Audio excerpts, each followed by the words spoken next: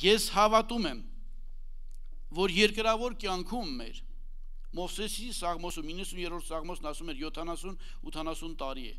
մեր տարիների օրերը, որոնք շուտով են անցնում են մենք թրջում ենք։ Ես հավատում եմ, որ երկրավոր կյանքի մեր ամենակարևոր գործը դա Տիրոջը ծառայելն է։ Կգեն հատվի միայն դա։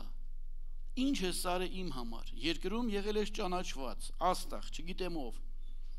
Ինչ է սարը իմ համար։ Կան երկիչներ այսօր, որ երկում են հերոստատեսությամբ եւ ասում են դա աստղ են, աստղ են։ Իսկ ով է ասե, որ փարաբանության խումբը, որ ստեղ կանգնած ու երկում էր,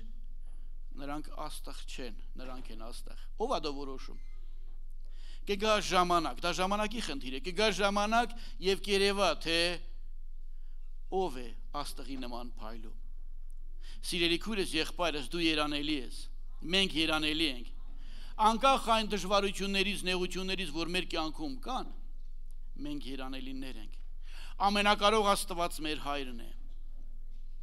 կգա ժամանակ, որ մենք կգանգնենք, կկանգնենք Աստծո առաջ եւ այն ժամանակ կերևա Տիրոջը ծառայություն անողի եւ չանողի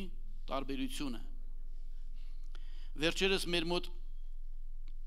կոնֆերանս էր, դե Էլերտոնը, որ եկել էր ձեզնից շատ մարդիկ կային, շատերը կային։ Չգիտեմ դա պատահականություն էր թե ինչ, բայց հոսանք է գնաց, իսկ Երևանում հիմա ես դժվարությամբ եկա շոկ էր։ Կոնդիցիոներները չկար եւ ահավոր մի շոկ էր երբ որ ընդմիջում եղավ ընդմիջումը բոլորը վազեցին զուգարանները ջրի լվացվելու համար Վերջում ես էլ մտա, որ արդեն բոլորը նստած էին, վերջում ես էլ մտա, որպեսզի ես էլ այդ ջրից օգտվեմ, որովհետև իրոք շատ ահավոր շոկ էր, ովքեր եղել են գիտեն։ Եւ զուգարանի այդ հատակը, պատկերացրեք, այդքան ժողովուրդ մտնի լվացվի, ջրի ու կոշիկների տրորած հատակը ինչ կլիներ, ինչպիսի աղբտու կեղտ։ Եվ մտա այդտեղ տեսա մեր եկեղեցում Արտուր ունենք մի հատ Արտուր Թովմասյան, որ աշխարհի չեմպիոն, չգիտեմ 5 թե 7 ոսկե մետալ, քանի հատ արծաթի մետալ, այդ տղեն ինքը վերցրել էր այդ հատակի պոլի շորն ու պոլի փայտը մեր լեզվով ասենք։ Ու ինքը մաքրում էր դա։ Ասում եմ Արտուր ջան, ուրիշ մեկը չկա, բա ես ինչ եմ։ Ես հավատում եմ, որ երկնքում ոչ թե այդ ոսկե մետալները կգնահատվի, այլ զուգարան մաքրել եք եկեղեցու։ Հավատում ես։ Այնինչ որ դու ծածուկում անում ես, Միգուցե դու անցնելուց տեսնում ես ինչ որ մի հատ թուղթ է ընկած ու վերցնում ես։ Քեզ թվում է դա տեսնող չկա։ Ամեն բան ինչ որ արվում է Տիրոջ անունի համար, Տիրոջ տան համար դա գնահատվում է։ Եվ այդ տարբերությունը մենք կտեսնենք եւ մենք երանելիներ ենք։ Մեր Հիսուսին լինի փառք եւ պատույր։ Սիրելի քուրս եղբայրս, մարդը ծնվելուց հետո սկսում է սովորել Երեխաները փոքր ծնվում են, տեսնում են հայրը ինչ անում, հենց սկսում են շարժվել, ձեռից վերցնում են ու սկսում են իրենք անել։ Ինչ անում են, սովորում են, կամած կամած, կամած կամած, հետո դպրոցում, հետո չգիտեմ ուրիշտեղ սովորում են, սովորում են ու սովորում են, ինչեւ վերջել սովորում են։ Դեր սովորելու բան կա մարդը ծերա։ Մենք էլ այդ տեսակ սովորում ենք։ Մենք եկեղեցի են գալիս ինչի համար։ Քիչ առաջ արտավազ եղբայրն ասեց դա սովորելու համար, տիրոջ հորտելու, փառաբանելու, նաև սովորելու համար, որպեսզի մեր կյանքերը փոխվի սովորելը լավ բան է, բայց պետք է օգնի։ Եկեղեցի գալը Պողոս Արաքյալը Տիմոթեոսին ասում էր, երկրորդ Տիմոթեոս 3:15-ում ասում էր. «Մանկությունից սուրբ գրքերը գիտես, որ կարող են քեզ իմաստուլ անել»։ Մանկությունից սովորել էր սուրբ գիրքը։ Ինչ հրաշալի է, եղբայրս որ ասում էր երեխաներին ասում ենք տարեք, լավ է, թող երեխաները մեր մեջ չարություն անեն, խաղան, խանգարեն։ Դուք չգիտեք հետո դրանք ով են դառնալ, բայց թող տիրոջ մեջ մեծանան։ Տիմոթեոսին ասում էր դու մանկությունից սուրբ գրքերը գիտես, որ կարող են քեզ իմաստուն անել։ Լավ է, որ մեր երեխաները մեր մեջ լինեն եւ սովորեն Աստծո խոսքը, սովորեն աղոթել եւ դրանում մենք պետք է բաժին ունենանք սովորեցնելու։ Նայեք երկրորդ օրինաց 6-րդ գլուխ 4-րդ համարից կարդամ, նայեք Աստծո խոսքի սովորելու կարևորությունը, ինչքան էր կարևորում ինքը Տեր Աստվածը։ Լսիրով Իսրայել, մեր Եհովա Աստվածը, Եհովան մեկ է եւ սիրիր քո Եհովա ասում բոլոր սրտովդ, բոլոր հոգիովդ եւ բոլոր զորությունովդ։ Եվ այս խոսքերը, որ ես այսօր քեզ պատվիրեցի,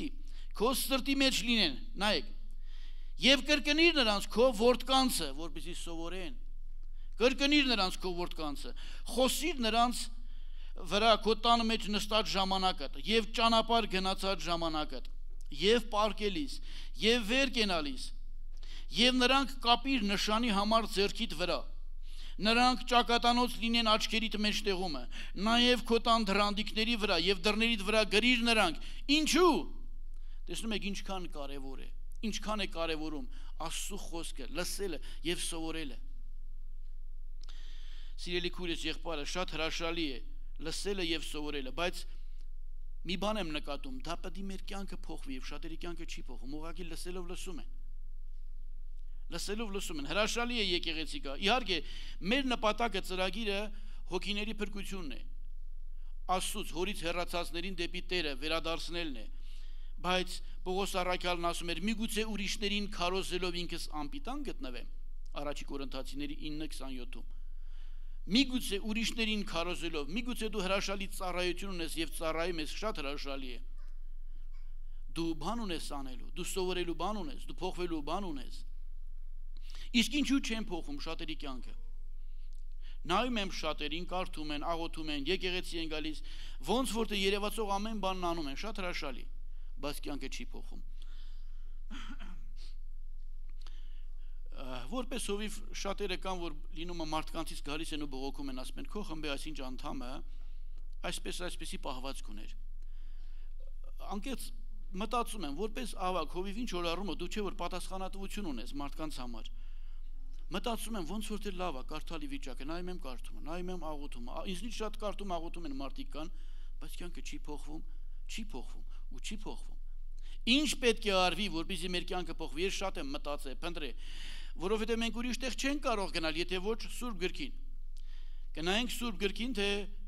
ոնց ինչ պետք է արվի որպեսզի մարդկանց կյանքերը փոխվեն եւ ովքեր էին որ կյանքերը փոխվեց Երբ որ ես շատ էի մտածում դրա մասին, հասկացա մի բան, որ եթե մարդը անձնական հանդիպում ունենա Տիրոջ հետ, նրա կյանքը կփոխվի։ Ոչ թե իր եսը կերակրի։ Ես գիտեմ դա, խոսում ես մարդկ, այսօր շատերը կան, որ Աստվածաշունչը ինձնից քեզնից լավ գիտեն, բայց հոգին չկա։ Խոսքը գիտությունով գիտեն։ Անձը չկերակրի։ Գիտես առավոտի ամեն օր առավոտը ժամը 6-ին ես աղոթքաժողով եմ գնում, լավ ես անում որնա շարժարի հետ որ ինչ լինի հանդիպում ես նրա հետ դու չես կարող հանդիպել նրա հետ ու քո կյանքը չփոխվի ում հետ որ դու շփվում ես դու նրան ես նմանվում որ ասում են մեկի հետ ընկերություն ես անում հետո տեսնում ես ասում են քո մակարդակի քո չափի մարդ չի կամած կամած ինքը մի կողմ դու մի կողմ ես գնում հիմա նույն տեսակ եթե մենք շփվում ենք Աստծո հետ նրա էությունն է գալիս ու փոխվում է մեր էությունը մենք կամած կամած նրան ենք նմանում որովհետև ասում են ինձ նման եղեք բավական չէ եկեղեցի գալը սիրելի քուրիս եղբայրս մենք պետք է անձնական հանդիպում ունենանք եկեղեցու գլխի հետ եկեղեցի տիրոջ հետ այսինքն դրա համար պետք է մենք ունենանք փափակ որպեսզի մեր կյանքը փոխվի Երկրորդ երկրորդ թակավորած գրքում 14-րդ գլխում որպեսի չկարդամ պատմությունն ուղակի ասեմ ձեզ Աբիսողոմը երբ որ եղբորը սپانել էր ու Գեսուր էր ոնց որ թե փախե գնացել հետո հետ վերադարձավ Երուսաղեմ բայց թակավորը Դավիթն ասեց իմ երեսը թող չտեսնի երկու տարի էր Երուսաղեմում էր բայց թակավորը երեսը չէր տեսնում Եվ հիշում եք Հովաբին կանչեց. Ինչի է պետք իմ այստեղ լինել, ես Երուսաղեմում եմ, բայց Տիրոջը չեմ տեղ, թակավորին չեմ տեսնում։ Ինչի՞ս է պետք, ես ուզում եմ թակավորին տեսնել։ Երուսաղեմում էր, խաղաղության քաղաքում, բայց թակավորի երեսն էր ուզում տեսնել։ Դու հիմա Երուսաղեմում ես, խաղաղության վայրում, եկեղեցին Երուսաղեմն է խաղաղության վայրը բայց դու պետք է հանդիպում ունենաս եկեղեցու տիրոջը այսինքն դու այդ փափագը պետք է ունենաս հանդիպել նրան թակավորների թակավորի հետ եկեղեցի տիրոջ հետ անձնական հանդիպումը ճանաչողություն է բերում եւ փոխում է մարդը Գործ առաքելուց 19-րդ գլխում հիշում եք Սկևա քահանայի 7 որդիներին ինչ էին ասում նրանք տեսել էին լսել էին բայց չէին ճանաչում Երթում ենք տալիս ձեզ այն Հիսուսովը որ Պողոսը քարոզում է այ քեզ բան Պատկերացնում եք ինչ որ մեկի վրա գնա աղոտ կանեք ու ասեք երթում ենք տալիս այն Հիսուսը, որ հովիվը քարոզում է։ Ինչ պատասխանեց Դևը։ Պողոսին ճանաչում եմ։ Հիսուսին գիտեմ։ Հա դու ով ես։ Ով եք դուք։ Եվ ինչ արես գիտեք։ Անձնական ճանաչում, անձնական հանդիպում, որ կփոխվի։ Ամեն բան հրաշալի է, եկեղեցի գալ, Աստծո խոսքը լսել, Աստծուն փառավորելը բայց պատկերացրեք երեխային տանում եք դպրոց առաջի դասարան ու 10 տարի հետո առաջի դասարանից հանում եք իրեն Նորմալ չի, դա ծիծաղում եք, բայց նորմալ չի։ Բայց քուրես եղբայրս մարդիկ կան, որ գալիս են եկեղեցի առաջի տարին, երկրորդ տարին, 30 տարի ոչ մի բան չի փոխում կյանքերը։ Ոնց գալիս են, նես գնում են։ Մենք բան ունենք անելու։ Սողոմոնի մասին շատ եմ մտածում իմաստություն խնդրեց, իհարկե այնտեղ բնագրում գրված է լսողական չ։ Այդ իմաստուն մարդը վերջում ինչի ինչի արժանացավ։ Կնոջ համար, կանանց համար նախ գրված էր, որ ուրիշ ազգից կանայք չառնես, կանանց համար կռատներ, աստվածապաշտ, աստծո հետ հաղորդակցող մարդը կռա, ես մտածում եմ, ինչու դա արեց։ Մարդը անձ է, դա աստծուց տված էր, ինչ որ տվել էր աստվածինը, բայց մենք անձ ենք։ Մենք անելու բան ունենք։ Ես կարող եմ փոխվել, կարող եմ չփոխվել։ Քո գործը դու անձ ես, չէ որ ասում է Տերը, Աստծո խոսքի գրված է, որ քո արժևը դրել եմ կյանքը եւ մահ, հորտությունը եւ դու ընտրի, մարդ ընտրություն ունի եւ հենց սկզբից որ ստեղծեց Ադամին ու Եվային, ընտրություն դրեց արժևները։ Առաջ ընտրություն կա, նրանք կարող էին դանել, կարող էին չանել։ Դու կարող ես փոխվել, կարող ես ոչ։ Քո հովիվը քեզ կասի, կառաջնորդի, բայց քո գործն է դու կլսես թե ոչ։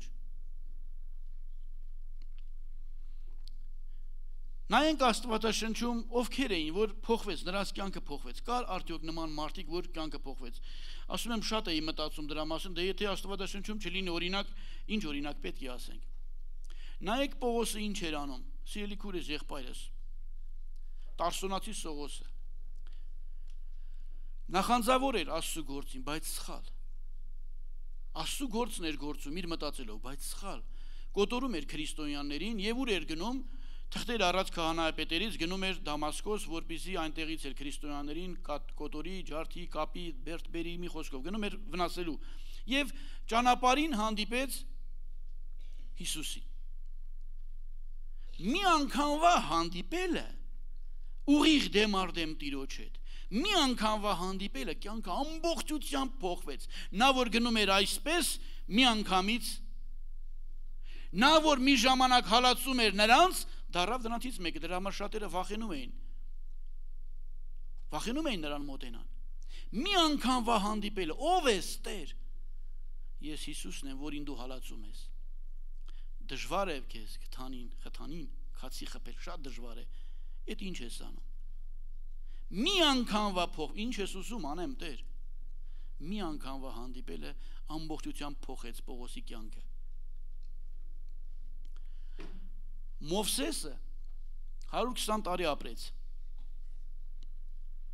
Բաժանենք 3 մասի, 3 հատ 40։ Առաջի 40-ը իրեն թվում էր, որ ինքը մի բան է ջարդենք, փշրենք, կոտորենք, ազատենք բազուկով եւ սպանեց եւ թվում էր հենց այդ տեսակ պետք է լինի։ Ես մտածում եմ, եթե այդ ժամանակ Տերը Մովսեսին ասեր, քո միջոցով պետք է Իսրայելի ժողովրդին ազատենք առաջի 40-ում։ Կարծում եմ պետ Մովսես այսպես կաներ թևերը. Գնացինք, տես ինչ ենք անում, բայց Տիրոջ ծրագրերը դա չէր։ Առաջի 40-ը իրեն թվում էր, որ ինքը մի բան է։ Երկրորդ 40-ը ինքը դարավ ոչնչություն աներոջ ճոբաններ, ոչխարներն էր առածեցնում։ Հավասարվեց հողերին, ոչինչ, մոռացավ ամեն բան եղա։ Երևի երազ էր, հեքիաթ էր։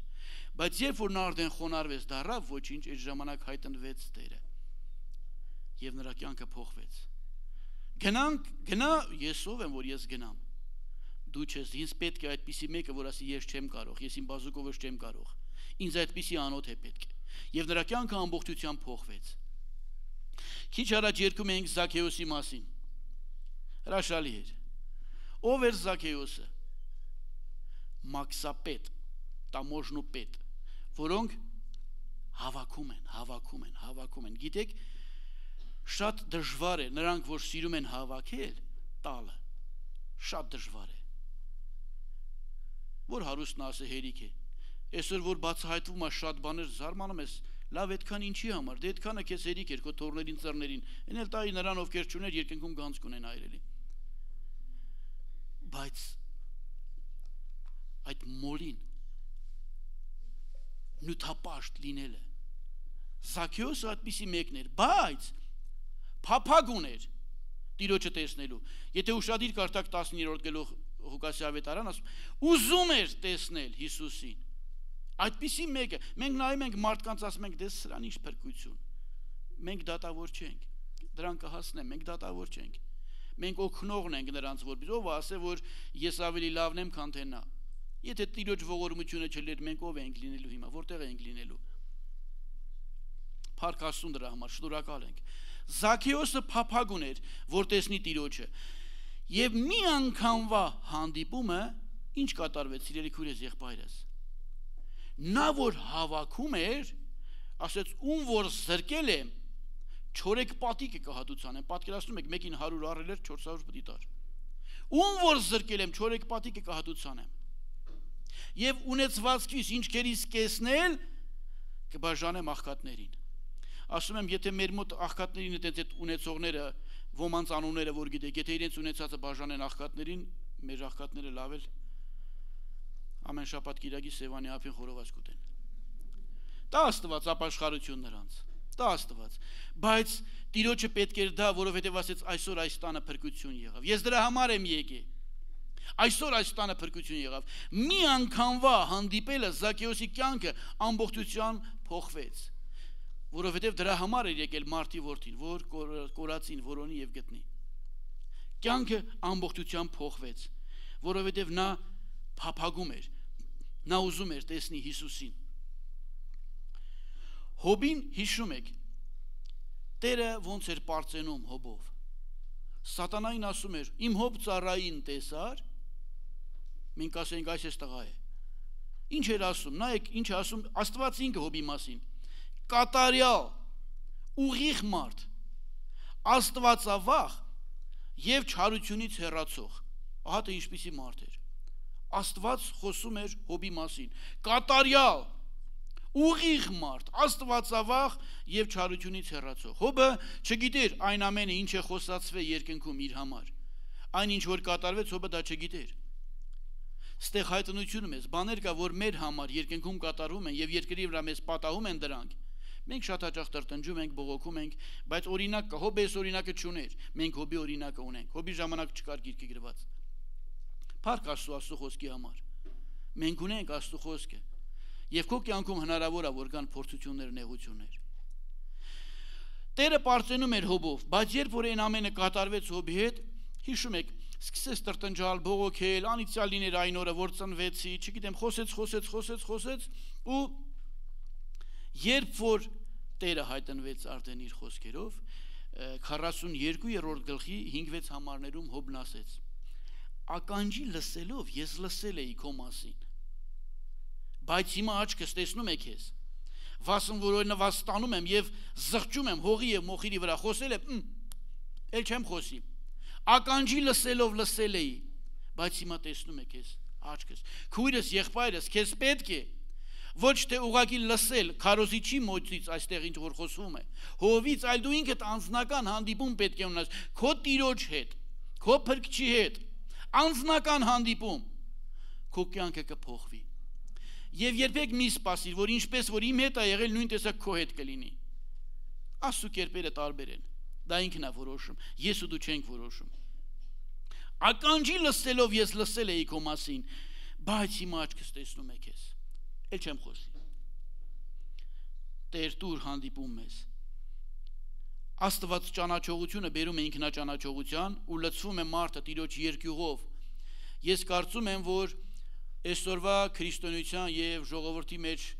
պակասը նաեւ սա է տիրոջ երկյուղի հոգին այդ ժամանակա որ մեռնում է մարդու եսը եթե մարդը լծվի տիրոջ երկյուղով շատ բաներ կա որ չի անի մենք էլ քրիստոնյաներս որ լծվենք տիրոջ երկյուղով շատ բաներ կա որ մենք չենք անի ու շատ բաներ կա որ մենք չենք խոսի մենք խոսում ենք բաներ որ մեզ վայել չի խոսելու շատ հաճախ ասում եմ լավ Տեր ջան, դե նույն բանը ոնց որ թե աշխարհի մարդն էլ կասել, ես ինչի եմ այդ բանն ասում։ Գիտեք հրաշալին նա է, կարծում եմ զղջումը, որ զղջում ես։ Եսային Տիրոջը տեսնելուց հետո էր, որ ասեց. «Վայ ինձ»։ Ինչու Տիրոջը տեսնելուց հետո։ Բա ինչև այդ ինչ էր մտածում Եսայի։ Ինչև տեսնելը։ 6-րդ 6-րդ գլուխն է Եսայի մարգարեության, այնտեղ սկզբից գրված է, որ Ոզյա թակավորի մեռած տարին տեսա Տիրոջս Անկեղծ ես չեմ գտե Սուրբ գրքում ես փնտրեցի չգտա որ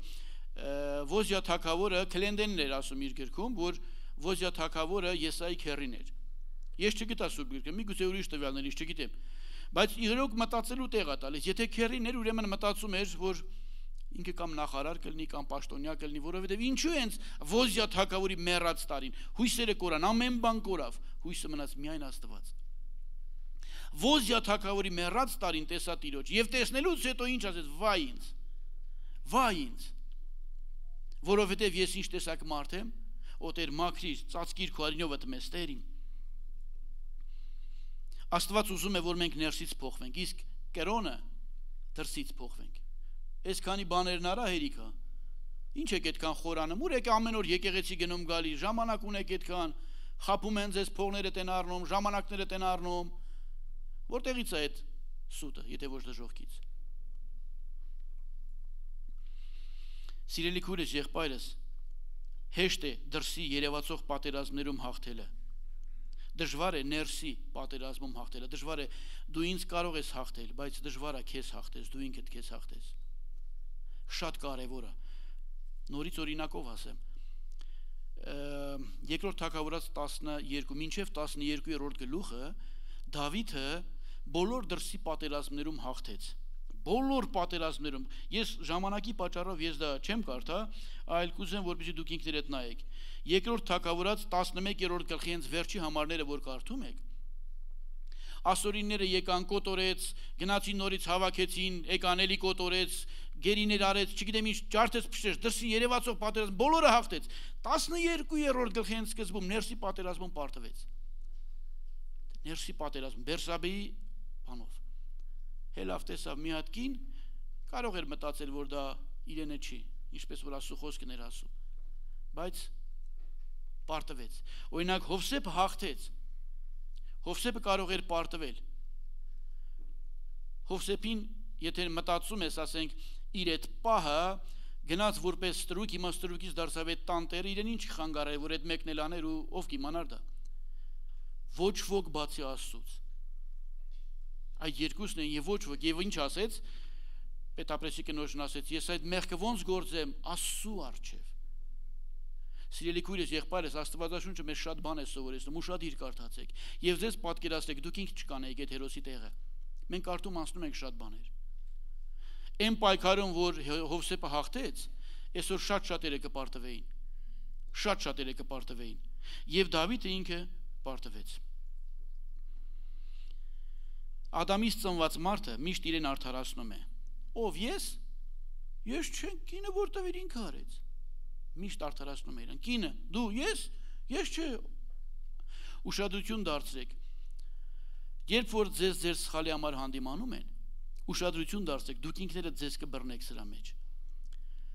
Սա մարմինն է, միշտ արդարացնում է իրան։ Դեռ չեն ավարտել այն խոսքը, որ խոսում են քո հետ, որ ասում են դու դա պետք է չաներ սխալը։ Դու էլ չես լսում, դու շարունակում ես արդեն քո ներսում սկսում ես պատրաստել քեզ արդարացնելու ծրագիրը։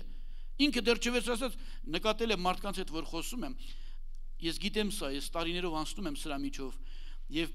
ինքը արդեն զգում եմ շուրթերով շարժում։ Ես դեռ չեմ ավարտվել, ես խոսում եմ, բայց ինքը շուրթերով շարժում արդեն ուզում է արդեն ասի, որ ինքը սենց արեց, դրա համար ես սենց արեց, արդեն իրեն արդարացնելու այդ շիտը դնում է։ Ուշադիր եղեք, դուք ինքներդ ձեզ կբռնցնեք։ Ես մի խոսք ունեմ, որ ասում եմ, միշտ չգիտեմ, ասու այդ ֆրիկ մի արեք։ Անկեղծ եղեք։ Դու ասուն հո չես խապելու։ Լավ, ինձ խապեցիր։ Ասուն հո չես խապելու։ Տեր ջան, իրոք սխալ էր, ես պետք է սա չանեի։ Բայց երբ որ գնում ենք տիրոջ մոտել ենք, մարդուն խապի, եթե ուզում ես, չնայած դա էլ ճիշտ է, բայց ասուն մի խապի, ավելի վա, դու ավելի օտարացնում ես քեզ։ Մի ֆրիկար ասա Տեր ջան, սա սխալ էր։ Դու ինքն եք էլի առանձին։ Տեր ջան, սա սխալ էր, ես պետք չանեի։ Ինձ իմաստություն որ ես չկրկնեմ սա։ Դա ավելի կօգնի քեզ, ավելի շուտ կբժշկվես եւ առաջ կետաս։ Այլապես դու կմնաս նույնը։ Մարդկա քրիստոնյա է, անում է ու ասում է լավ արեցի, բայց ինքը ինչի սենց արեց։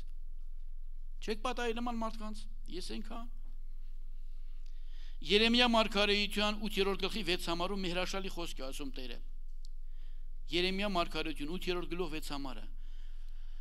մարդ չկա, որ զղջա իր չարության համար եւ ասի թե ես ինչ եմ արել։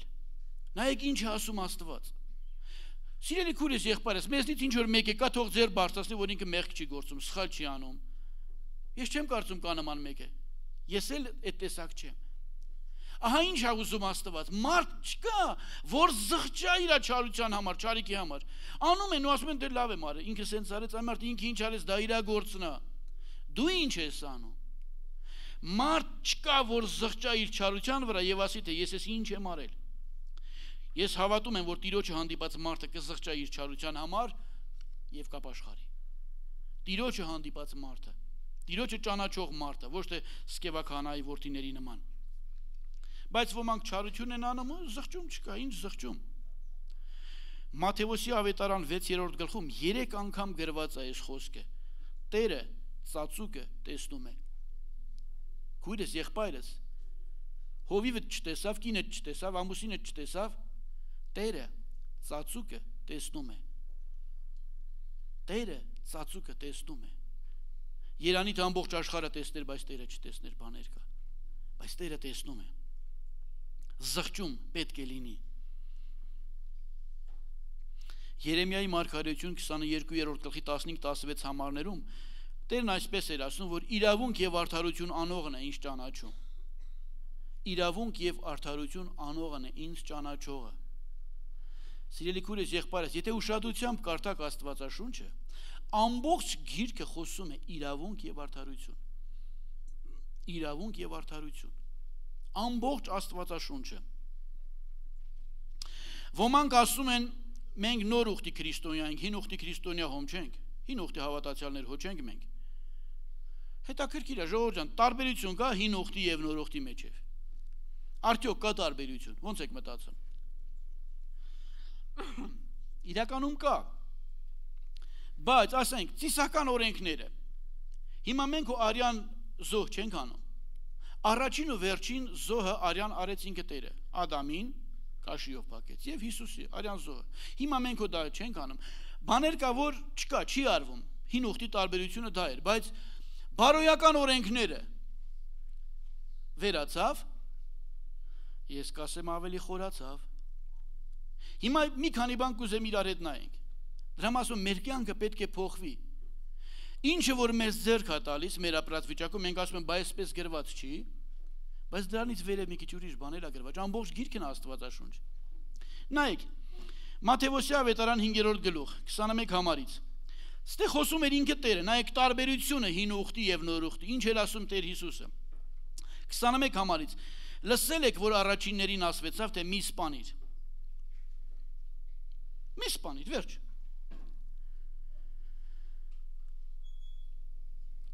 Ով որ սպանե, պարտական կլինի դատաստանին։ Բայց ես ասում եմ ձեզ, գրված էր այնպես, այդ օրենք տվողն էր խոսում Բայց ես ասում եմ ձեզ, թե ամեն ով որ զուր տեղը բարկանա իր եղբորը, պարտական կլինի դատաստանին, այնքան ենք անտեսում մենք սա։ Եվ ով որ իր եղբորն ասե հիմար, պարտական կլինի ատյանին, եւ ով որ իր եղբորն ասե մորոս, պարտական կլինի գեհենի կրակին։ Հովանեսն էլ ասում էր եղբորը ատողը մարդասպան է, առաջ Հովանի 3:15-ում։ Լավ, դե դեր գրված է մի սպանի, ես էլ չեմ սպանում։ Հիմա ջղային ասես, մի հատ հիմար ասեմ, ինչ կլինի որ։ Տերը ինչ էր ասում։ Արեք մի քիչ խորը գնանք։ Մատթեոսի ավետարան 5-րդ գլուխ 27-րդ խոսքից։ Լսել նույնիսկ Տերն էր խոսում, էլի Տերն էր ասում։ Լսել եք, որ առաջիններին ասվեցավ։ Առաջիններին, այսինքն հին ուխտում գրված էր սա։ Առաջիններին սա էր ասվում։ Շնություն մի անիր։ Այդքան բան էր գրված։ Շնություն մի անիր։ Բայց ես ասում եմ ձեզ, թե ամեն ով որ մի կնկա վրա մտիկ տա նրան ցանկանալու համար, նա արդեն շնացավ նրա հետ իր սրտումը։ Օհո։ Տեր դե գրված է շնություն մի արա։ Դե չենք անում շնություն։ Հիմա մտքով էլ չի կարելի, սրտով էլ չի կարելի։ Բայց այդքան ինտերնետ, այդքան ֆիլմեր, չի կարելի։ Այդ հարցին ես չպատասխանեմ։ Այդ հարցին արեք նորից թող Տերը պատասխանի։ Բայց ես ասում եմ ձեզ, թե ամեն ով որ մի կնկա վրա մտիկ տա նրան ցանկանալու համար, նա արդեն շնացավ նրա հետ իր սրտի մեջ։ Չի արե, բայց եթե դատ լինի, դատվելու է այդ հոդվածով։ Տարբերություն կար հին ուխտի եւ նոր ուխտի, թե չէ։ Երևի թե ավելի լավ էր։ Երբ որ շնության մեջ բռնված կնոջը բերեցին Հիսուսի մոտ։ Հետաքրքիր, այնտեղ գրված է, եթե հին ուխտում նայեք, երկուսին էլ բերեն։ Այդ ում հետ էր շնություն արել կինը, Ժողովուրդ գրված է, ում հետ էր շնություն արել։ Ուր էր այդ տղամարդը։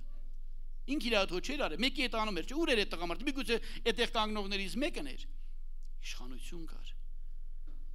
Բռնել եք, դեպքի վայրում բռնել եք, ինչ ես ասում։ Ով է ձեզանից անմեղը, թող առաջին քարնա գցի։ Մենք այնքան հաճախ քար ենք գցում։ Մի շնացիր։ Մաղաքիայի երրորդ գլուխը հանրահայտ այդ գլուխում երբ որ խոսում է 10-րդի ընծանների մասին։ Նայեք հին ուխտում ինչ էր ասում։ Բոլոր 10-րդը անեցկով անիծված եք, եթե չեք տալիս 10-րդ ընծան տիրոջ տունը բերեք, որ իմ տանը պաշար լինի, եւ մի սրանով ինձ փորձեք, հետաքրքիր է, մի տեղ է գրված, որ ինձ փորձեք սրանով։ Տեսեք, թե արդյոք օրտություն չեմ թափում, երկնքի պատուհաններ թափել, բացել, օրտնել այնքան, որ տեղ չլինի։ Սիրելի քուրես, եղբայրս, ես ուզում եմ խոսքս ուղղել նրանց, ովքեր 10-րդ են տալիս, չեմ ուզում խոսել նրանց հետ, ովքեր չեն տալիս։ Նախ որ չեք տալիս, ավելի լավ է որ դուք ինքներդ աղոտ կանեք, Տեր, հոժար չի սիրտս, խնդրում եմ, Եթե այդ ամենը ճիշտ է, հոժարացու, որ ես հոժար սրտով կարողանամ տամ, որովհետև գրված է անից անիցքով անիծված է, եթե դուք չեք տալի։ Հիմա ոմանք ասեն դա հին ուխտին է, հիմա նայենք նոր ուխտին։ Նախ ուզում եմ հարցնել նրանց, ովքեր որ 10-րդ տալիս են, տարիներով տալիս են։ Այդ օրտությունը, որ այստեղ գրված էր, Տերն ասում էր, դուք դա վայելում եք, երկնքի արքայություն օրտություն պատուհանները բացեմ այնքան օրտություն թափեն որ լիքը լինի վայելում եք թե չէ չեմ կարծում որ վայելում եք բոլորդ կամ ամբողջությամբ վայելում եք դա այդ դեպքում ինչու Քո մոտ այնքան պետք է ավելանա, որ լցի այդ ավելը, որ դու կարողանաս 10 բաժանես։ Ինչը կարող է խանգարել, որ դա չլինի։ Աստվածը սուտ չի ասում։ Հիմա նայենք տարբերությունը հին ուխտի եւ նոր ուխտի, տեսնենք Հիսուսը ինչ էր ասում այս նույն բանի համար։ Մատթեոսի ավետարան 23-րդ գլխի 23 համարը, գոլդ համարակ է հիշեք։ 23-23։ Ասում էր վայ ձեզ, Տեր, բա 10-րդ տվողին ասում են վայ։ Գիտեք, ոմանց թվում է, որ երբ որ քանի որ իրանք եկեղեցում զոհաբերություն ու 10-րդ են տալիս, դա պրոպուսկա դա անցաթուղթ է ոնց որ թե, բայց դա պրոպուսկ չի, դա քոնը չի։ Քոնը չեղած բանը դու ուղակի հանում ես։ Դա քոնը չի, դա լավ բան է, որ անում ես, բայց դա չի նշանակում, որ դու դա տալիս ես, ինչ ուզես կարաս անես եւ շատ բաներ պետք է թողես։ Ինչ էր ասում Տերը, նորից հին ուխտի եւ նոր ուխտի տարբերությունը։ Վայ ձեզ դպիրներ փարիսեցիներին ասում էր մանրակրկի մանրակրկի տալիս եք 10-րդը, բայց թողում եք դատաստանը, այսինքն արդարադատությունը, ողորմությունը, հավատքը Եվ Ղուկասի ավետարան 11-րդ գլխի 42-րդ համարում երկու բան էլ ավելացնում։ Աստծո իրավունքն եք թողում եւ սերը։ 5 բան։ Ես կկրկնեմ հիմա, դուք նորից կկարդաք։ Մատթեոսի ավետարան 23-23 եւ Ղուկասի ավետարան 11-րդ գլուխ 42 համարում։ Կներեք ես հազը։ Ուրեմն 10-րդ ընծայ զոհաբերություն տալիս եք շատ լավ եք անում, բայց թողնում եք արդարադատությունը թողնում եք ողորմությունը, թողնում եք հավատքը,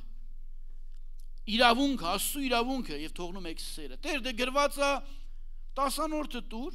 դե ես էլ տալիս եմ։ Էլ ինչ իրավունք, էլ ինչ։ Սիրելի քուրես եղբայրս, ես որ հարցրեցի նրանք ովքեր 10-րդ են տալիս, սա կարող է խանգարի, որբիզի այդ օրհնությունը դու չվայելես։ Իհարկե կարող է։ Չէ որ ամբողջ Սուրբ Գիրքը, Սուրբ Գիրք, ամբողջ Աստվածաշունչն է Սուրբ Գիրք։ Նա անում եք, լավ եք անում, որ անում եք։ Բայց դուք թողնում եք սա։ Ուղղակի որպեսզի շատ չխորանամ, առակած 21:3-ը ասում է արդարություն եւ իրավունք գործելը Տիրոջը հաճելի է, քան զոհը արդարություն եւ իրավունք գործելը Տիրոջը հաճելի է։ Ես 10-րդ եմ տալի։ Դրա համար էլ սրան էլ եմ ատում, նրան էլ եմ ատում, նրան բամբասում, նրան իրավունք չեմ անում, բայց ես 10-րդ եմ տալիս, զոհաբերություն եմ անում։ Եթե խորանամ ես թեմայով գնամ, այնքան օրինակներ կա, բայց չեմ ուզում, ես ուզում եմ միտքը հասկանաք ինչ եմ ասում։ Լավ է որ դու նա անում ես, բայց սրանք դու պետք է չթողես։ Խնդրում եմ սրանից հետո ավելի շատ ուշադրություն դարձու սրա վրա, որովհետև Տերը սրա համար մեզանից հաշիվ է պահանջելու։ Նրանք առաջինները սա չգիտեին։ Այդ որ բռնե բերել էին շնության դեպքի վայրում, Նրանք լավ միգուցե 10 չեմ կարծում որ չտային 10-անոր տվող էին, ընծատ տվող էին, բայց սերը չկար, բայց իրավունքը չկար։ Եթե իրավունքը ինչի տղամարդը չկա, ինչի նրա հետ շնացող էր մեդանը չկա, չեք բերե։ Ինչի բերել եք միայն այն կնոջը։ Իշխանություն կա, իշխանություն ենք բանցնում։ Առաջինները տիրոջը չհանդիպած, տիրոջը չճանաչած մարդիկ էին։ Դա կրոնն էր։ նման մարդիկ པարծենում են իրենց արդարությունով, իրենց իշխանությունով, իրենց ուժով, իրենց փողով, բայց դա ժամանակի խնդիր է, սիրելի քուրիս եղբայրս։ Մեր մեջ չէ, ինչ կատարվեց մեր մեջ էս վերջի երկու ամսվա մեջ, մեր իշխանությունների մեջ էս փոփոխությունը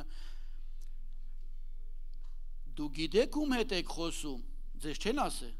Էդում դեմն, էդում հետ ես խոսում։ Գիտես ես ով եմ։ Լսել եք նման բառ։ Արեք մի հատ նայենք ճշմարտությանը, Աստծո խոսքը, որը բացարձակ ճշմարտություն է, մի երկու համար եմ ուզում ուղակի նայել։ Երբ որ ես ամեն բան, որ մեր երկրում կատարվեց, ես ուղակի ես համարները զրնգում էր ականջներից։ Ես ուզում եմ դրանք կարդալ ձեր համար։ Աստծո խոսքը բացարձակ ճշմարտություն է։ Այդ մարդկանց ինչ է ասում։ Սաղմոս 39 5 համարը։ Բոլորովին ունայն է ամեն մարդ, որքան էլ հաստատ լինի բոլորովին ունայն է։ Դու գիտես ում հետ ես խոսում։ Ժամանակի հարցը, մի երկու տարի դու կասեմ ում հետ եմ խոսում։ Հիմա ես հավատում եմ, որ ոմանք ավելի շատ իրենց հարստություն ամեն բան կդնեին միայն այդ անունը, որ ունեցան, այդ անունը ջնջեին, որովհետև բարի անունը հոտավետի ուղից լավ է, անունը Ամեն բան մարդը կդներ։ Ոմանց անունը գնաց Հավիտյանը Սավիտենից որպես ճշնամի ու դավաճան, չգիտեմ ինչ ազգի ամեն բան կդնեին դրա համար դու գիտեք ում դեմ եք մեր դեմ խաղ չկա կներեք ես արդյոք բայց շատերը նման արտահայտություն արել են ու հələ դեռ կան անողներ բոլորովին ունայն է ամեն մարդ որքան էլ հաստատ լինի Սաղմոս 62-ի 9 համարը Իրավի որ հասարակ մարդիկ ունայն են եւ մեծամեծ մարդիկ սուտ լսեք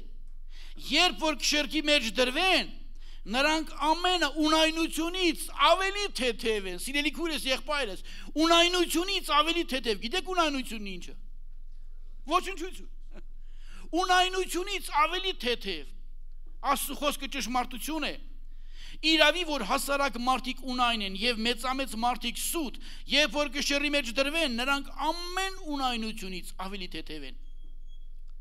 Սաղմոս 144-ի 4-րդ համարը Մարդը նման է ունայնության։ Նրա օրերը անցնող շուքի պես են։ Փող ունեմ, այն հարուստը որ գնաց ինչ տարավ հետ։ Այդքան հարուստներ են գնաց, ինչքան փող են տարել։ Բաներ կա, որ մեր գործեր կա, որ մեր հետ գնում են։ Այնտեղ գնահատվելու է, թե դու ինչ ես արել։ Այս վերջերս որ որ ասեցի կոնֆերանսեր դե Լերտոնի հետ հացկերուտի վերջը որ նստել ենք մի հետաքրքիր բառ ասեց որ քիչ էի մտածել դրա մասին ասում էր ոչ թե դատվելու են Տատաստանի ժամանակ մեր հոգիները, որովհետև մեր հոգիները փրկված են Հիսուսի անունով, Հիսուսի արինով, այլ դատվելու են մեր գործերը մեր արարքները, մեր գործերը դատվելու են ոմանց ոսկի, ոմանց արծաթ, ոմանց խոտ ու կրակը կանցնի, այնտեղ կերևա քո գործերից ինչ ամնալու։ Սիրելի քուրես եղբայրս, ես ու դու դեռ ժամանակ ունենք մենք դեռ ժամանակ ունենք, որ մեր գործերը դառնան ոսկի, որ երբ որ կրականցնի, ոսկին կրականցնելուց ավելի լավն է դառնում։ Ավելի ազնիվ է դառնում։ Սիրելի քույրս եղբայրս, ինչու շատ հաճախ մեր աղոթքները չեն պատասխանվում։ Անկեղծ, երբ որ նստած էի ու նայում էի կողքին դրված այդ հոգսերի արգղերին, որ հոգսեր էին լցում, Տեր ասում է, մարդիկ եկել են ում դիմեն, եթե ոչ քեզ, խնդրում եմ, հպվիր այդ հոգսերին Հիսուսն ասում էր. «Մինչև հիմա իմ անունով ոչինչ չխնդրեցիք, խնդրեցեք եւ կտրվի, որ ձեր ուրախությունը կատարյալ լինի»։ Ուշ ասում է Տեր՝ «Տուր քո ժողովրդի սրտի փափագը, որպեսզի կատարյալ լինի նրանց ուրախությունը, ուրախ սրտով օրհնեն»։ Քույրս եղբայրը շատ հաճախ շատ բաներ կա, որ կարող է խանգարել մեր աղոթքի պատասխանը ստանալու համար։ Վերջի երկու ամիսը ես համարի վրա եմ, ես շատ ուշադրություն դարձնում Եզեկելի մարգարեություն 14-րդ գլուխ։ Առաջի համարից հələ նայեք խանգարող ինչ կարող է լինել։ Մարգարենով էր, ասում են Տիրոջ բերան, եւ եկել էին Մարգարեից հարցնելու Տիրոջից խոսք իմանալու։ Եվ մարդիկ եկան ինձ մոտ Իսրայելի ծերերիցը եւ նստեցին իմ առաջս։ Եվ Տիրոջ խոսքը եղավ ինձ ասելով. Մարտի որդի, այս մարդիկը իրենց կուրքերը դրել են իրենց սրտումը եւ իրենց անօրինության գայտակղությունը դրել են իրենց երեսի առաջին։ Միթե ես երբեք պատասխան տամ նրանց։ Լսում եք ինչ էր ասում Աստված։ Միթե ես երբեք պատասխան տամ, աղոթքի պատասխանի են եկել։ Խնդիր կա, եկել էի որ մի քիչ որ վերևից կարդակ ներքևից ամբողջ պատմությունը ես միտքն եմ ուզում ասեք ինչը կարող է այսօր խանգարել քո աղոթքիդ պատասխանին քրիստոնյան կարող է կուրք ունենալ իր սրտում իհարկե կարող է ունենալ մեկի ժամացույցը, մեկի մատանին, մեկի շորը, մեկի մեքենան, մեկի քերին, մեկի, չգիտեմ։ Ամեն բան ինչը որ կխանգարի, ամեն բան ինչ որ ավելի ես համարում Տերից, դա կուր կարող է լինել։ Թող Տիրոջ հոգին խոսի ձեր սրտերի հետ եւ ասի ինչը կարող է խանգարել որովհետև Պարսը ստակորինակ է ասում. Այս մարդիկ իրենց կուրքերը դրել են իրենց սրտերում եւ իրենց անօրինության գայթակղությունը դրել են իրենց երեսի առաջին միթե ես երբեք պատասխան տամ նրանց աղոթքի պատասխանը ստանալու համար նաեւ քույրս եղբայրս կա որոշված ժամանակ ժամանակ կա որ ես ու դու չենք որոշում ես շատ խոսմունքներ ունեմ Աստծո, շատ-շատ խոսմունքներ ունեմ ինչ որ նպատակի համար շատ խոսմունքներ ունեմ, բայց դեռ դա չի իրականացել։ Երկու ամիս կլինի երևի թե մոտ 2-ից 3 ամիսի ես մտածում եի այս տեսակ որ շատ ոնց որ թե ձգվեց դրա մասին էի մտածում, ինչի այսքան երկարեց բան ու մի հետաքրքիր բան իմ հոգում ես զգացի դա ոչ ոչ թե ասեմ Տերը խոսեց, ես հասկացա որ Տերիցն է դա այսպիսի մի բան Հովսեփը ուշադիր եղեք շատերը ձեր աղոթքի պատասխանը հիմա կստանաք շատերիդ հավատում են որ դուք կստանաք հիմա Հովսեփը պետք է այնքան մնար բերթում մինչև որ գար առատության եւ սովի 7 տարիների ժամանակը ոչ ուշ ոչ շուտ ոչ 2 տարի առաջ Հովսեփը դա չգիտեր Հիշում եք, երբ որ երազները մեկնաբանեց ու ասում էր հացագործին մատրվակին, որ հե իմ փարավոնի մոտ ինձ հիշեք, ես ոչ մի մեղ սխալ չեմ գործե, ես եկել եմ այստեղ հիշեք ինձ խնդրում եմ։ Դրանից հետո 2 տարի էլ ինքը մնաց Բերտում։ 2 տարի Մենք ինչերով ենք ասում, երբ որ մեր երեխեքին բանակ ենք ուղարկում, 2 տարի սպասում ենք, որ պետք է գան։ 2 տարի մնաց բանտում։ Հովսեփը դա չգիտեր։ Բայց պետք է լիներ ճիշտ ժամանակին։ Ոչ առաջ, ոչ շուտ։ Բաներ կա, որ դու ունես խոսմունք, որ պետք է լինի, պետք է գա այդ ժամանակը, որ իրականանա։ Հավատում եմ ծոմը չի օգնի, աղոթքը չի օգնի, աղոթքը լավ բան է։ Բայց բաներ կան, որ հիմա Տերն ասել էր 400 տարի կմնաք, ես չգիտեմ ինչու 430, ոմանք ասում են դա Մովսեսի սխալով էր, չգիտեմ։ Արտավազ եղբայրան, չգիտեմ ինչի է։ Բայց պատկերացրեք, մեկը հավատալով, ասենք 200 տարի մնացել են ծոմով, աղոթքով, աղոթանը, որտեղից դուրս գան։ Տերն ասել էր 400 տարի։ Բաբելոնում պետք է մնան 70 տարի։ Տերն ասել էր։ Գաղատացիների 4-րդ գլուխը բարաբանությունից ոնց որ թե խոսեցին այդ մասին, 4-րդ գլխի ժամանակի մասին։ Ժառանգը, քանի դեռ երեխա է, մի բանով ավել չի ծառաներից։ Մինչև հոր որոշած ժամանակը քույրես, եղբայրս, բաներ կա, որ ես ու դու չենք որոշում ժամանակը։ Որոշումը հայրը եւ օրհնյալ լինի հայրը իր որոշած ժամանակին։ Եթե մի քիչ շուտ լինի, միգուցե դու վնասվես եւ այդ ծրագիրը չիրականա։ Մենք ուզում ենք դուրս գալ։ Եգիպտացից Եգիպտոսից ուզում են դուրս գալ, Հովսեփն ուզում էր դուրս գալ, այն նեղությունը, որ մենք ունենք, ուզում ենք դուրս գալ, բայց Տերը գիտի դրա ժամանակը։ Օրհնյալ լինի Տերը։ Որովհետև որոշված ժամանակ կա։ Ղուկասի ավետարան 10-րդ գլուխ 25 համարից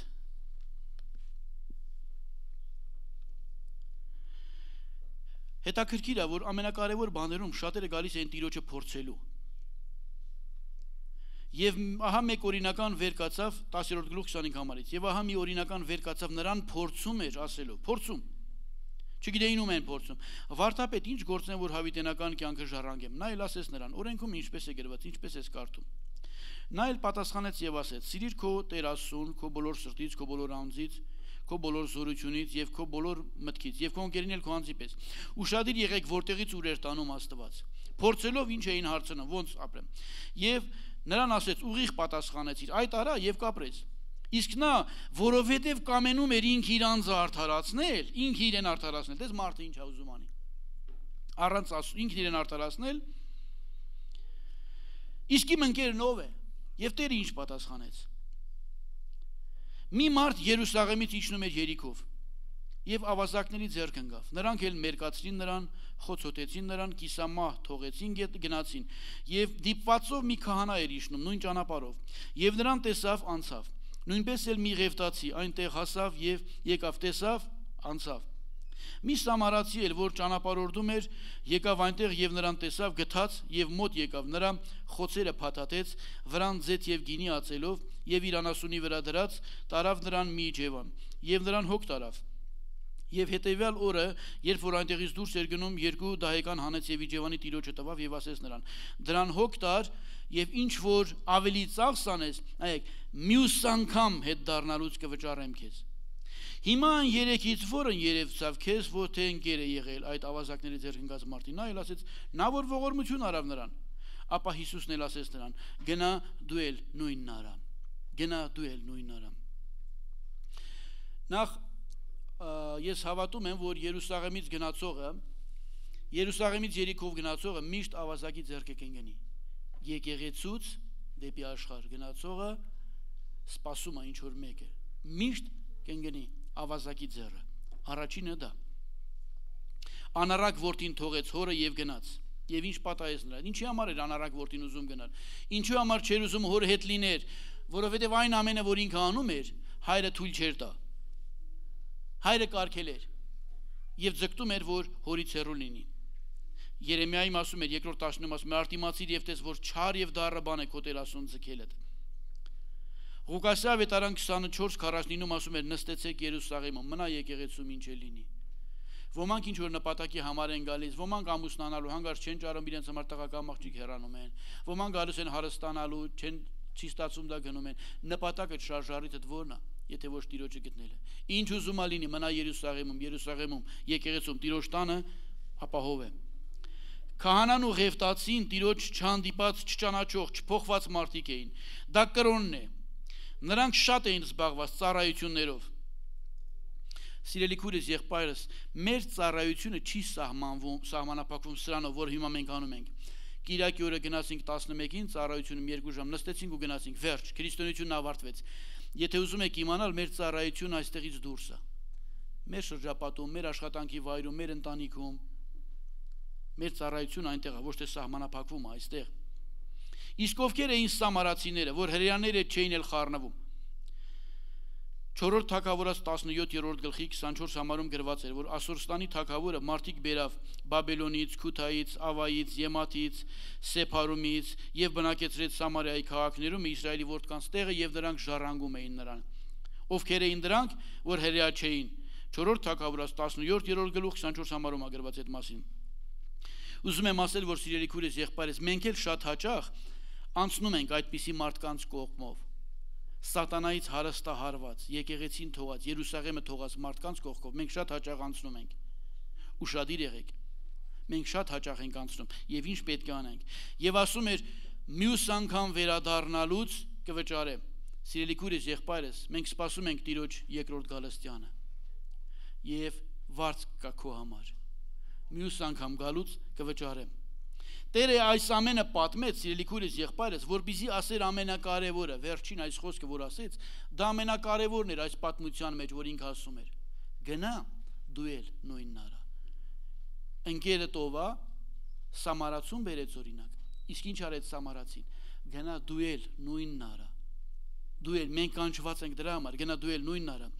Մենք պետք է ուրիշների վերքերը փաթաթող լինենք, սիրելի քուրս եղբայրս։ Ոչ թե դատող, փորփորող ավելի մենք պետք է փաթաթող լինենք, փապկեցնող լինենք։ Մեր ներկայությունը մարդկանց կողքը արդեն իսկ պետք է նրանց բերի մխիթարություն ու սփուփանք, որովհետև Տիրոջ հոգին է մեր մեջ։ Ոչ թե գնանք դատենք, ինքը արեց, դու պետք է նրան գիտես ինչ անեիր։ Սխալ է, սխալ է։ Հոբի հետ կատարվածի ժամանակ հիշում եք, Հոբի բարեկամները երկրորդ գլխում խոսում է վերջում, թե որոշեցին ինչ անեն հոբի բարեկամները։ Գնանք ինչ անենք, լսեցին հոբի հետ կատարվածը։ Երկու բան ասեցին։ Գնանք ցավակից լինենք եւ մխիթարենք։ Ցավակից լինել եւ մխիթարել։ Հրաշալի բան է, բայց ինչ արեցին։ Ավելի լավ էր չգային։ Սպանեցին այդ խեշ մարդուն։ Նրա ցավ իրեն հերիք չէր։ Դե որթիներդ մեղանչել են, որտեղ ագրված որ արթարին, դե չգիտեին ինչ է կատարվել բայց ինչ արեցին Կարծում եմ ամենաիմաստուն բանը, որ նրանք արեցին, դա 7 օր լուր նստելն էր։ Դրանից հետո ավելի լավ էր չխոսեին ոչ մի բան։ իրոք ես դրանից մեծ դաս սովորեցի, ասենք մեր մոտ անցած տարի մեծ վշտեր եղավ մարդիկ երեխաներ մահացան, շատ շատ բաներ պատահեց։ Ասենք ուղղակի լուր նստելը, ինչ ասես։ Այդ սքի տեր, վշտի տեր մարդիկ, երբ որ առանձին խոսում են, ասում են Վալեր եղբայր, ախր հավատացյալը, հələ նա եկե ինչ ասում, ինձ ես վշտի մեջ էլ ինչ բառեր օգտագործեմ։ Երևի իմաստուն կլինի մարդ ուղղակի լռի։ Լռի։ Եթե դու ներկա ես կողքը, բաներ կա ինքան դատարկ բան, իհարկե դա այն վայրն է, որ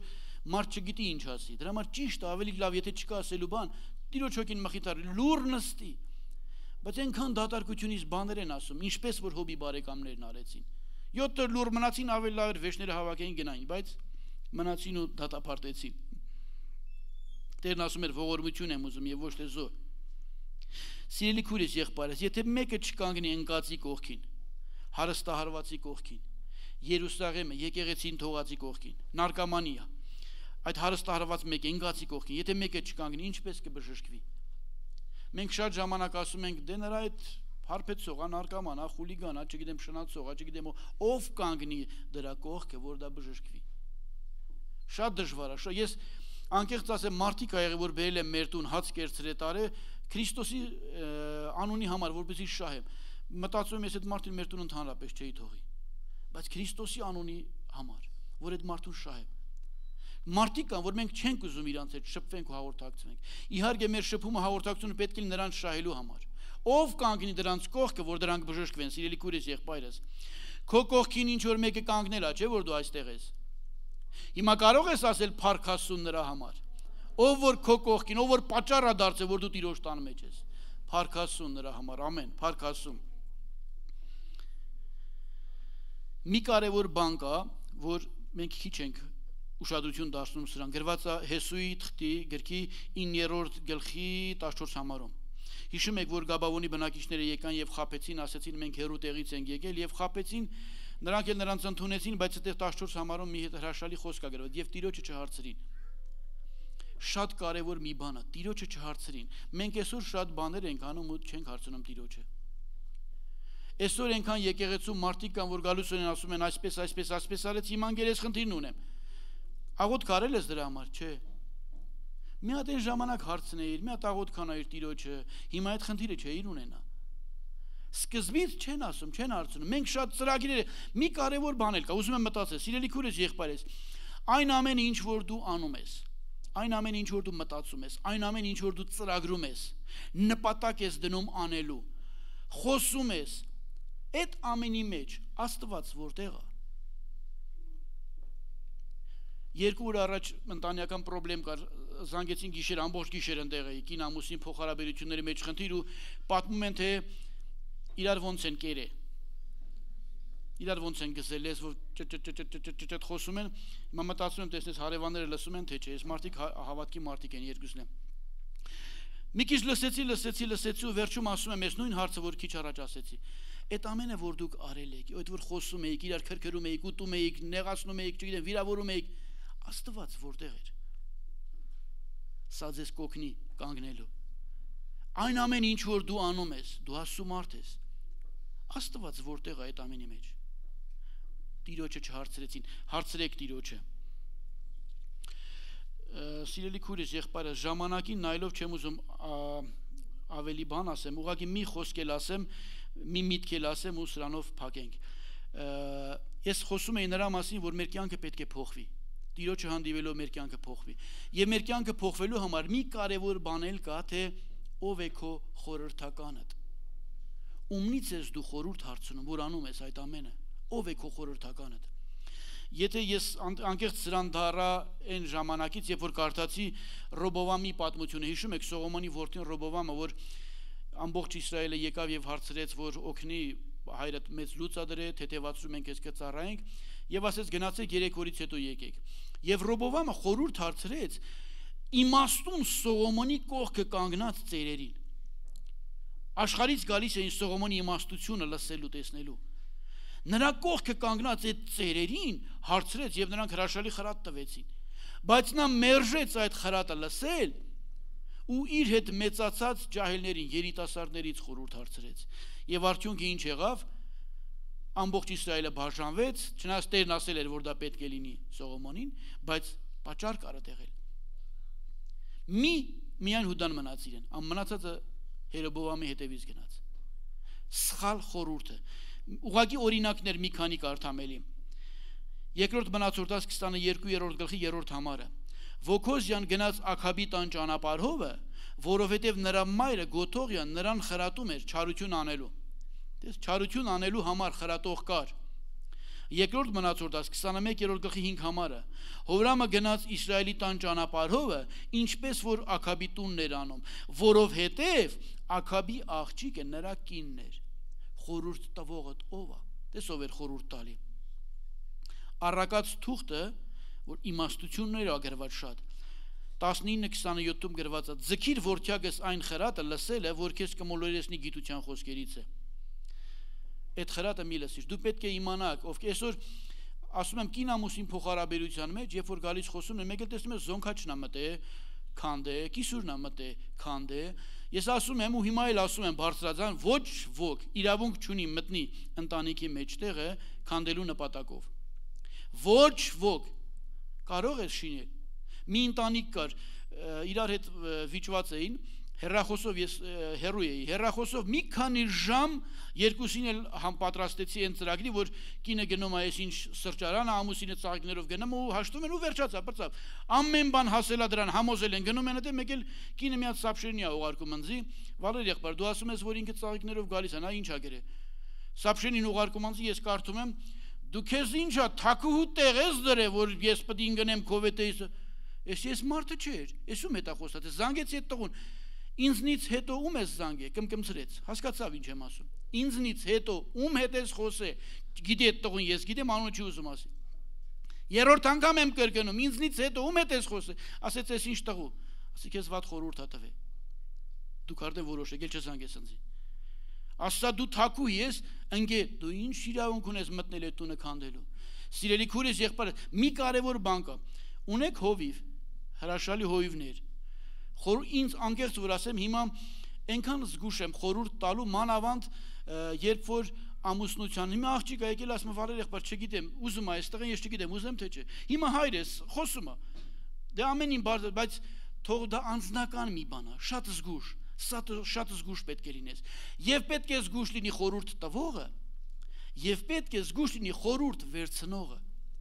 Դրանից է կախված քո փոխվելը չփոխվելը։ Դրանից է կախված քո ասուն մոտիկ լինելը, թե ասուց օտար լինելը։ Այսօր շատերը մտնում են ու քանդում են։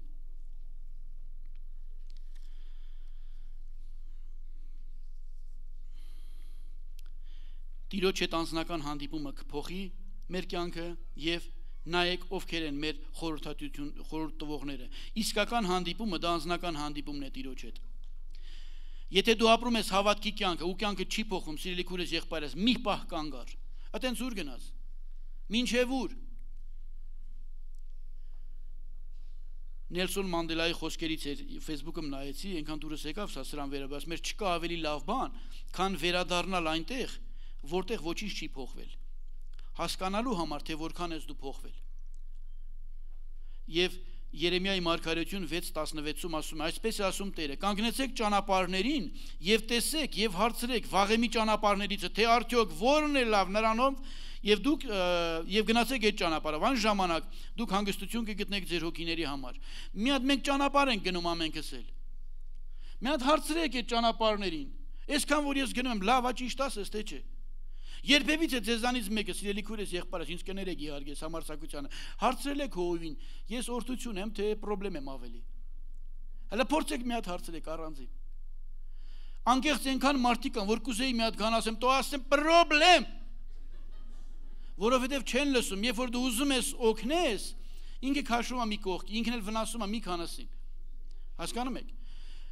որ ծնողը կուզի իր երեխու վատը որ հովիվը կուզի որ իր հոտում